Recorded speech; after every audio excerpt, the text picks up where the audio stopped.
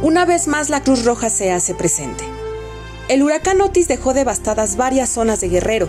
La fuerza de este fenómeno natural y el lento e ineficiente actuar del gobierno dejaron a la gente sin nada. Por ello, la Cruz Roja Mexicana activó el Centro de Operaciones de Emergencia Nacional, envió personal especializado para evaluar daños, voluntarios y 5.000 despensas para ayudar a los más perjudicados.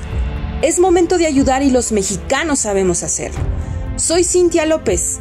Yo influyo.